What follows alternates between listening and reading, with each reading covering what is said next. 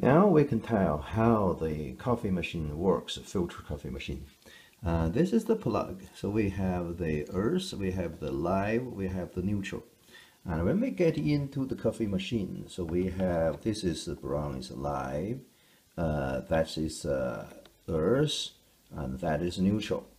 So the live going here, and then following this wire and to the switch, the left side. When you switch it on, it will going to, the light will come out from the middle switch. And the middle switch will coming from here to a overheat protection. So when it's uh, hot enough, this will break. And when it's not hot enough, it will be connected. And then this wire connected to the heater. So that the heater the heater is around here, the elements, and coming out from here. So, and then go back to the neutral. So that the complete the circuit. So from the live to the switch, come back from switch to the heater, from the heater, go back to the neutral. So that complete circuit. There's another circuit which is uh, the this this wire. So this wire directly connected to the neutral and connect to the switch, the right connector. So now we can say in the switch, when you switch on, these two will be connected. When you switch off, they're not going to be connected. And the indicator should be a neon. So when you have the live in the middle, and when you have the neutral on the right connector, the indicator should light up if it's working.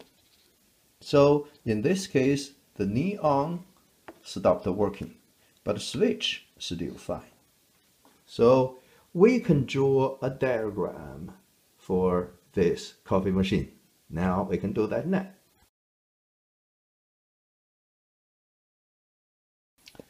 Here we go. This is our diagram. So we have the uh, main power in live and neutral, and the live going to the switch, the power on off switch, on or off. When it's on, it's going to be connected to this point and go into the overheat switch, and then to the heater. The heater, the water will be heated by the heater, and then go back to the neutral.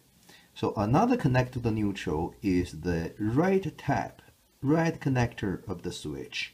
So between this and this, there's going to be a neon indicator. So in this case, our neon indicator stopped working. So the switch, we have a switch connector, and actually these two as a switch, and that one as, a, as an indicator. So this is uh, our uh, electrical circuit diagram.